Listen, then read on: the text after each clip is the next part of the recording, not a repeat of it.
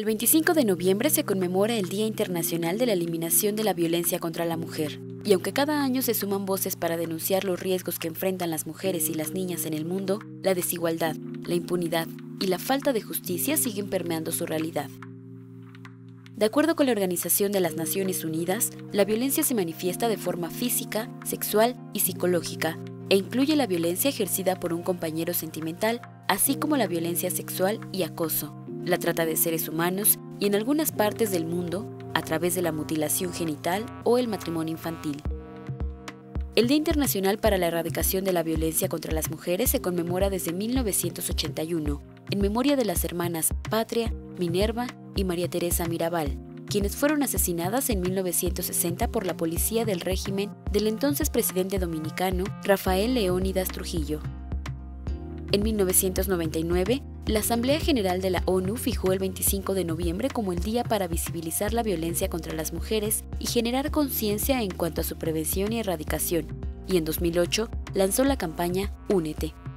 Pinta el mundo de naranja, Generación Igualdad, condena la violación, es el tema de este año en una jornada que comprende 16 días de activismo que llegarán a su fin el 10 de diciembre de 2019, en el marco de la celebración del Día Internacional de los Derechos Humanos. Según datos de la ONU, se estima que el 35% de las mujeres de todo el mundo ha sufrido violencia física o sexual por parte de un compañero sentimental o violencia sexual por parte de otra persona distinta a su compañero sentimental, aunque estas cifras no incluyen el acoso sexual. De las 87.000 mujeres asesinadas en 2017 en todo el mundo, más de la mitad fueron matadas por sus parejas o miembros familiares, lo que indica que 137 mujeres son asesinadas a diario por un integrante de su familia.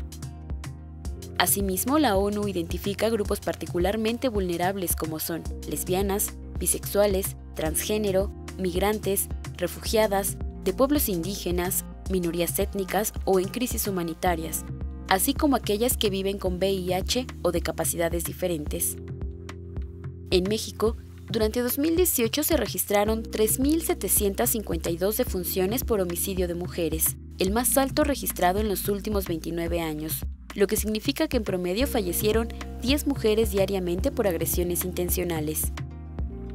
Colima, Baja California, Chihuahua, Guerrero, Zacatecas, Guanajuato, Quintana Roo, Baja California Sur, Morelos, Michoacán, Tamaulipas, Jalisco, Nayarit y Oaxaca son los estados que registran las tasas más altas en homicidios de mujeres en los últimos tres años.